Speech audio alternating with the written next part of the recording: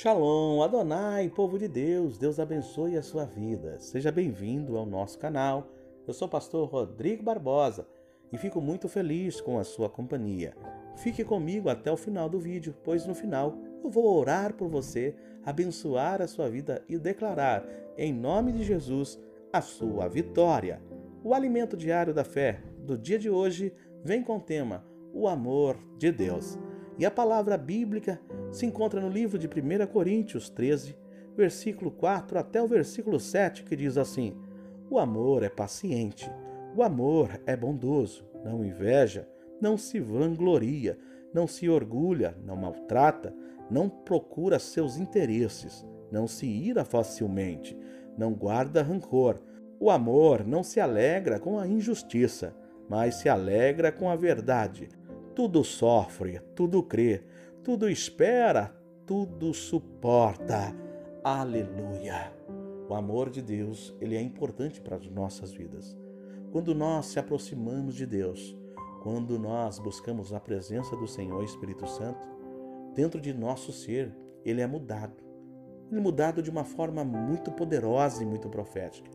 Todo rancor, todo interesse, toda amargura, ele bate em retirada e vem sobre nossas vidas o amor ágape, o amor verdadeiro, um amor paciente. Então, se você está vivendo momentos de tristeza, execute esse amor que está dentro de você. Se você está vivendo perseguições, você que está sendo maltratado por palavras que estão ferindo a sua alma, aprenda algo. Semeie esse amor, porque não tem outra forma de destruir o ódio, destruir a falsidade, destruir o rancor. Você só destruirá todos esses sentimentos que estão vindo contra você é com o amor, o amor que Jesus nos ensinou. A palavra de Deus ela é poderosa. E quem conhece o amor, esse sim teve um encontro verdadeiro com Jesus, teve um encontro verdadeiro com Deus Todo-Poderoso. A palavra de Deus diz assim em 1 João 4, versículo 8: Quem não ama não conhece a Deus, porque Deus é amor. Queridos e amados, se você está sendo maltratado, seja por seu marido, por sua esposa, pelo seu chefe, pelo seu vizinho, não importa quem está te maltratando. Você tem que ser luz na vida dessa pessoa, pois quem ama conhece a Deus, e quem não ama, esse nunca conheceu a Deus no seu profundo. Você que está ouvindo esse elemento diário da fé, você é conhecedor da palavra de Deus.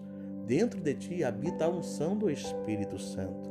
O Senhor Deus, ele vai te usar para levar esse amor, esse amor paciente e bondoso. Olha que a palavra de Deus diz em 1 Coríntios 13, 13: Assim permanecem agora estes três: a fé, a esperança e o amor. O maior deles, porém, é o amor. Então, queridos, não deixe esfriar a sua fé, a sua esperança e seu amor.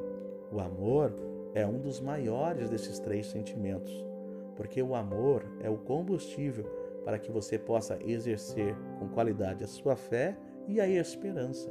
Para que você possa avançar, busque em Deus o amor, a presença do Senhor Espírito Santo, que desta maneira tu vencerá. Desta maneira, tudo aquilo que está vindo contra a tua vida de tristezas, de amarguras, de sofrimento mudará para uma felicidade completa e total. Olha que a palavra de Deus diz em 1 João 4, versículo 7. Amados, amemos uns aos outros, pois o amor procede de Deus. Aquele que ama é nascido de Deus e conhece a Deus. Você conhece a Deus. Você que está comigo nesse alimento diário da fé, você tem a presença do Espírito Santo. Dentro de ti habita o amor de Jesus. Dentro de você está acesa uma chama, e essa chama é da presença do Senhor Espírito Santo. Você é a luz por onde passar. Preste bem atenção, que a partir desta oração, por onde você passar, aonde estiver a tristeza, a alegria saltará. Aonde estiver rancor, a felicidade reinará porque dentro de você flui rios de águas vivas e o fogo do Espírito Santo. Vamos orar, queridos. Deus eterno, Deus Todo-Poderoso, Estamos aqui, papai, buscando a tua face. E peço a ti, Senhor, que a tua unção, a tua poderosa venha sobre a vida desse povo. O teu amor, o amor ágape, Pai. O amor, papai, que faz fluir rios, papai. Rios, papai. Rios que conseguem, Pai, transformar toda tristeza, todo rancor, papai, em nascentes, Pai. Assim eu peço a Ti, Senhor Deus Todo-Poderoso. Essa pessoa foi muito desprezada no decorrer, desprezado no decorrer da vida. Esse homem, papai, sofreu, essa mulher sofreu muito ódio, muita fofoca, muita calúnia.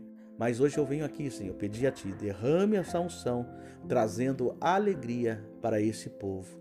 Ó Deus Todo-Poderoso, é nesse momento que eu peço a Ti, derrame a Tua unção poderosa, que toda dor na alma, toda tristeza bata em retirada, pois hoje fluirá rios de água vivas na vida desse povo, na autoridade que há no nome do Senhor Jesus.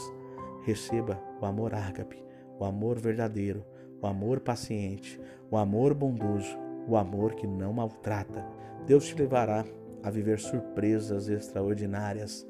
Receba a vitória em nome de Jesus. O amor de Deus chegou na tua vida no nível físico, emocional, financeiro e espiritual. Deus te abençoe. Jesus te ama. Aleluia. Se você chegou até aqui e ainda não é inscrito no nosso canal, já clique em inscrever, ative o sininho para receber todas as notificações Deixe o seu like, a sua curtida, clicando em gostei e compartilhe esse vídeo nos grupos do WhatsApp, Telegram e nos grupos do Facebook. Deus te abençoe. Shalom, Lahema, paz e prosperidade.